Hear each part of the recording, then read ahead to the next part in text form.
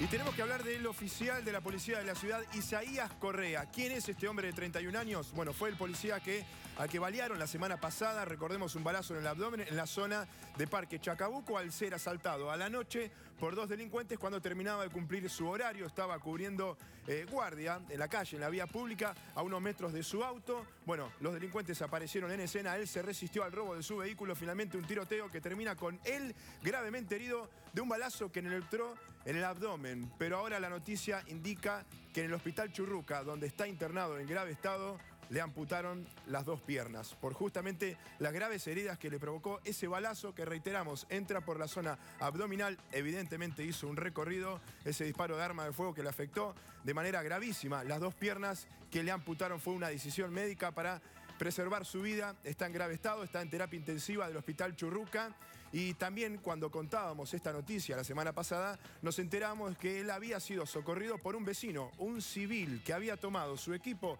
de comunicación, no el teléfono, no es que llamó al 911, su equipo de comunicación interna llama, aprieta el botón, pide la alerta y de esta manera se, se, comunicaba este hombre, este vecino que había advertido lo que había pasado con los compañeros de ese policía herido. Sí, ¿no?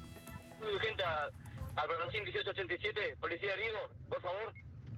Por favor, ambulancia, todo, por favor. Señor 901, un civil estamos hablando, un civil.